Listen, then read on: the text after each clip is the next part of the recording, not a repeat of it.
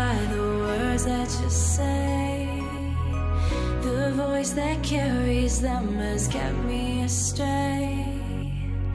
Too soon to act on it, can we ever be? That all depends on what you're feeling.